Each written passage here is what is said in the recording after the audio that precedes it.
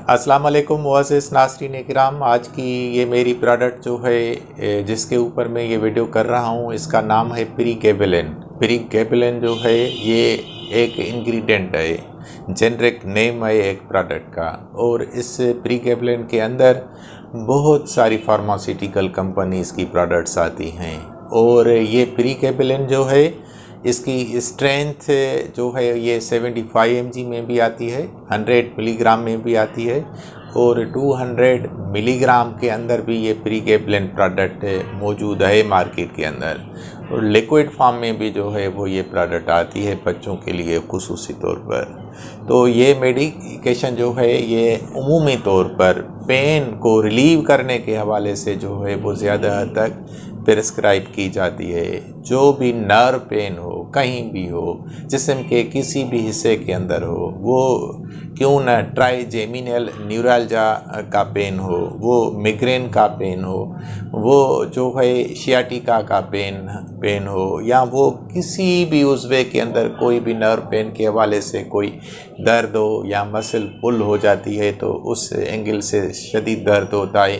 तो उन सब कंडीशंस के अंदर ये प्रोडक्ट जो है वो ये उस नर्व को नम करने के हवाले से रिलैक्स करने के हवाले से पेन को डिसअपियर करने के हवाले से ये बहुत बड़ी जो है वो इफ़ेक्टिव ड्रग है। स्पाइनल कार्ड की कोई खुदा नखास्ता इंजरी पैदा हो जाए या हरपी सोस्टर जो वायरल इन्फेक्शन होता है हरपीस का, वो हो या डायबिटीज़ की वजह से जो बर्निंग फीट होती है, पाँव जलते हैं, पाँव के अंदर जो है वो पिनिंग होती है, नीडलिंग होती है। रात को नींद नहीं आती, इतने ज़्यादा पाँव जो हैं वो जलते हैं। तो इन कंडीशंस के अंदर, या फाइब्रोमायल्जिया का जो पेन होता है, काफ़ी पीपल्स जो हैं वो उसमें सफ़र करते हैं। तो इन सब कंडीशंस के साथ साथ जो इपीलेप्टिक सीज़र्स वगैरह होते हैं, एपिलेप्सी की वजह से, मिर्गी की वजह से जो सीज़र्स होते हैं तो उनको भी जो है वो ठीक करने के हवाले से, ट्रीट करने के हवाले से ये मेडिसिन ज़्यादा हद तक जो है वो इस्तेमाल की जाती है। तो how to use pre pregabalin orally orally तौर पर जो है वो प्रीगेबलिन किस तरीके से इस्तेमाल की जा सकती है? यूजुअली आप जो प्रीगेबलिन अगर इस्तेमाल करते हैं तो अपने डॉक्टर की डायरेक्शन के हिसाब से ही इस्तेमाल करें। और ये उमूमी तौर पर two two three times per day with or without food जो है वो दी जा सकती है। प्रीकेबलिन जो है वो एपीलेप्सी और इवन इस हद तक के एंगजाइटी या जो डिप्रेशन होता है उसमें भी जो है वो ये इस्तेमाल की जाती है। ये एक बड़ी अच्छी डिप्रेसेंट है, जो ज़्यादा पेशेंट एंग्री फील करते हैं, गुस्से में होते हैं, जिन की कंडीशन जो है वो बड़ी हाइपर एक्टिव होती है तो उन कंडीशंस के अंदर भी इसका बहुत बड़ी हद तक रोल है। It's also taken to treat nerve pain जिस तरह मैंने पहले बताया कि कहीं भी, जिसम के किसी भी हिस्से में कोई भी नर्व पेन हो तो उसको ठीक करने के हवाले से या नर्व पेन को सुन और नम्ब करने के हवाले से जो है वो ये बड़ी हद तक इस्तेमाल होती है। तो प्री गेबलिन वर्स से इन डिफरेंट वेज मुख्तलफ़ तरीक़ों से जो है वो ये अपना काम दिखाती है। In epilepsy it it it seizures by reducing the abnormal electrical activity in the brain देखें, ये जो है, अगर एपिलेप्सी में इस्तेमाल की जाए तो ये जो फिट्स पड़ते हैं, जो सीज़र्स होते हैं, जो मसल की रिजिडिटी पैदा होती है तो जो टोनिक क्लोनिक की एक्टिविटी जो है, वो मसल्स के अंदर पैदा होती है तो ये उनको कंट्रोल करती है, क्योंकि ये इलेक्ट्रिकल एक्टिविटी जो है नॉर्मल ब्रेन के अंदर बन जाती है तो ये उसको नॉर्मल रखने में जो है बड़ी मुआवनत करती है। और अगर कोई भी नर्व पेन है तो ये डायरेक्टली जाकर वो ब्लॉक करती है उस पेन को। और जो मैसेजेस ट्रेवल करते हैं ब्रेन से नर्व के ज़रिए, कि इस उजवे के अंदर जो है वो पेन है, और फिर उन मैसेजेस की वजह से जो है वो पेन में काफ़ी हद तक इजाफा पैदा हो जाता है। तो ये जो है, वो मैसेजेस को डायरेक्टली ब्लॉक करती है, यानी कि वो ब्रेन से स्पाइनल कार्ड तक जो है, वो नहीं पहुँच पाते। तो उस हवाले से पेन के अंदर काफ़ी रिलीफ मिल सकता है।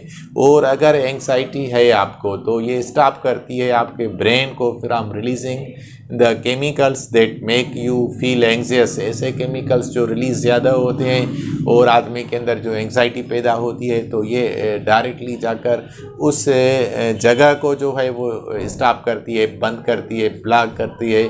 और वो केमिकल्स जो हैं वो ब्रेन से रिलीज़ नहीं होते। तो उस हवाले से एंग्जाइटी काफ़ी हद तक कंट्रोल हो जाती है। It takes at least a few weeks for pregabalin to work pregabalin को ठीक तरह से काम करने के लिए कम से कम तीन से चार हफ्तों का टाइम चाहिए। और उसके बाद इसके अच्छे से रिज़ल्ट से पैदा होना जो है वो शुरू हो जाते हैं। और इसके साइड इफ़ेक्ट्स जो हैं वो इतने ज़्यादा हैं नहीं।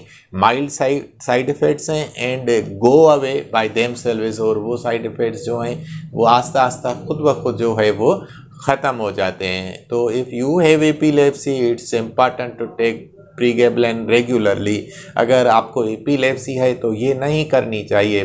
कोताही कि आप कुछ दिन इस्तेमाल करें और कुछ दिन छोड़ दें, लेकिन ये रेगुलरली और पंक्चुअली तौर पर आप इस्तेमाल करें तो आपके जो एपीलेप्टिक फिट्स होते हैं, वो कंट्रोल में हो जाते हैं। और मिसिंग डोजेस को ट्रिगर अ सीज़र अगर डोज मिस कर दिया तो फिर जो है वो फिट्स पड़ने शुरू हो जाते हैं। तो प्री गेबलन जो है अगर आपको प्रीगेबलेन से कोई एलर्जिक रिएशन है तो आप प्रीगेबलेन ग्रुप न इस्तेमाल करें। अगर आप एडिक्टेड हैं किसी भी मेडिसिन के तो फिर उस हवाले से प्रीगेबलेन के अच्छे रिजल्ट्स आपको नहीं मिल पाएँगे तो आप प्रीगेबलेन न इस्तेमाल करें। और अगर आप trying to get pregnant pregnancy चाहती हैं, या ऑलरेडी आप प्रेग्नेंट हैं, या ब्रेस्ट फीडिंग हैं तो उस हवाले से प्रीगेबलिन कतन आप इस्तेमाल न करें। और आप अगर सोडियम डाइट को कंट्रोल करते हुए किडनी कंप्रोमाइज्ड हैं, यानी कि किडनी का कोई प्रॉब्लम है, किडनी का फ़ंक्शन जो है वो एम्पेयर है तो उस हवाले से आप सोडियम नहीं इस्तेमाल करना चाहते या डॉक्टर्स ने आपको रोका है सोडियम के इस्तेमाल करने से तो प्री गेबेलिन के अंदर भी सोडियम है। तो उस हवाले से इन कंडीशंस के अंदर कभी भी प्री गेबेलिन आप इस्तेमाल न करें। अगर आप ज़्यादा लेवल पर जो है वो ब्लड प्रेशर रखते हैं हाइपरटेंशन के पेशेंट हैं तो उस कंडीशन में भी प्री गेबलन जो है, वो आप अपने डॉक्टर से मशवरे के सिवा बिल्कुल भी ना इस्तेमाल करें। और अगर आपको ब्रीदिंग का कोई प्रॉब्लम है, जिस तरह के ब्रीथलेसनेस है या एस्मा के अटैक्स पड़ते हैं तो इन कंडीशंस के अंदर भी प्री गेबलन इस्तेमाल न करें तो बेहतर है। और इसका जो डोज़ है वो between 150 fifty to 600 M per day in divided doses यानी कि ये आप 150 फिफ्टी जो है वो कैप्सूल सुबह दोपहर शाम भी इस्तेमाल कर सकते हैं। 75 फाइव एम कैप्सूल आप सुबह दोपहर शाम भी इस्तेमाल कर कर सकते हैं।